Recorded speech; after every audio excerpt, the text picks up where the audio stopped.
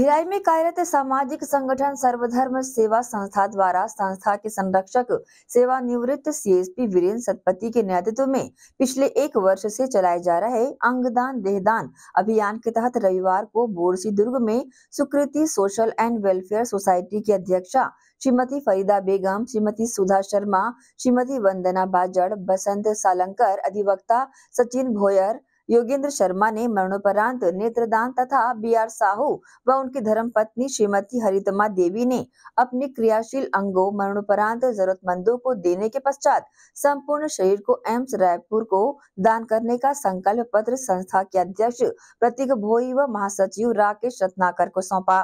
सर्वधर्म संस्था द्वारा पिछले एक वर्ष से इस अभियान की शुरुआत की गई थी, जिसमें अब तक 132 लोगों ने अंगदान, देहदान का संकल्प लिया। संस्था का 2030 तक 10,000 लोगों से देहदान अंगदान का संकल्प कराने का लक्ष्य बनाया गया है।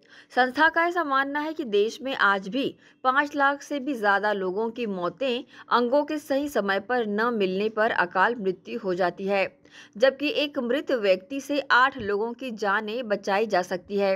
वही चिकित्सा विज्ञान की गति भी मृत देह के अभाव में रुक सी गई है, इसलिए संस्था लोगों को जागरूक करते हुए इस अभियान को गंभीरता पूर्वक पूरे प्रदेश में चला रही है।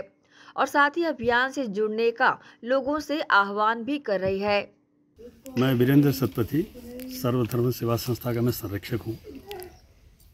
हमारे द्वारा पूरे भिलाई में यह एक अभियान चल रहा है। देहदान अंगदान नेत्रदान इत्यादि सब।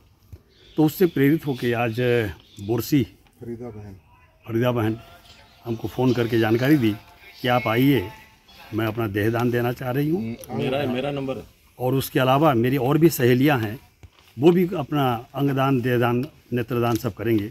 उसी सिलसिले में आज हम यहाँ आए और मैं देखा इनका उत्साह।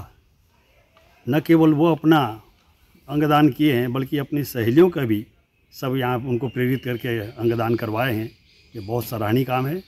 मैं भिलाई की जनता को सर्वधेवर सेवा संस्था की ओर से आग्रह करूँगा कि आप सब भी किसी न किसी प्रकार का अपना शरीर का दान दीजिए।